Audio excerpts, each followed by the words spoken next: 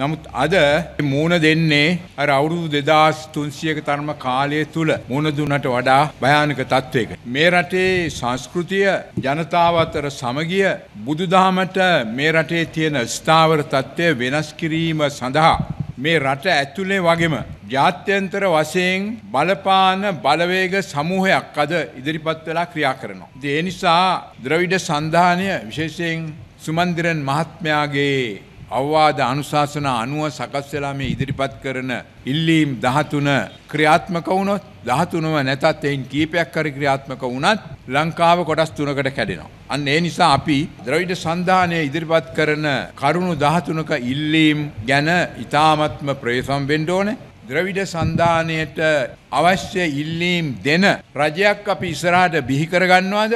එහෙම නැත්නම් මේ ගෝඨාභය මහත්මයා වගේ. ඒ ඉල්ලීම් තරයේ ප්‍රතික්ෂේප කරලා මේ රටේ සිංහල මුස්ලිම් බෞද්ධ කතෝලික ආදී සියලු ජනතාවට සමගියෙන් ජීවත් වෙන්න පුළුවන් ශක්තිමත් රටක් බිහි කරගන්නවද කියන මේ ප්‍රශ්නය අපි දිහා බලලා අපි ගෝඨාභය මහත්මයාගේ ඍජු නිර්භීත පිළිතුර ගරු කරමින් මේ ඉදිරියට යන ඡන්දයේදී ක්‍රියා කරන්න ඕනයි කියන එක මේ වෙලාවේදී මතක් කරනවා.